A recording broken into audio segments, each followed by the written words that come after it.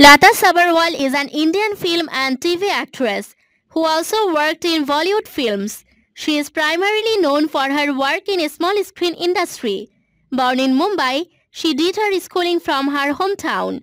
In 2010, she married fellow actor Sanjeev Seth from the show Yeh Rishta Kya Kehlata Hai. In 2012, she announced her pregnancy. On 16 May 2013, she gave birth to a boy.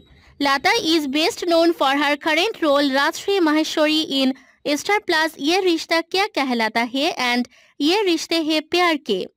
She has played supporting role in Bollywood films like Vivah and Ishq Vishk.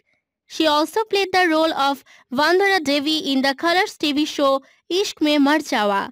From 2009 onwards, she started playing a major role in Yeh Rishta Kya Kehlata Hai on Star Plus as Rajshri Maheshwari, mother of the main lead Akshara and grandmother of later main lead Naira.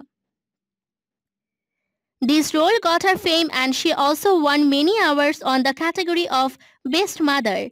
She also married her on-screen husband from Yeh Rishta Kya Kehlata Hai, Sanjeev Seth. Lata and her husband Sanjeev Seth also appeared in the Star Plus dance show Nach Baliye 6 in 2013. In 2008, she appeared in Main Teri Parchai Hu on Imagine TV. This role got her fame in Indian television. In 2007, she was seen in Nagin,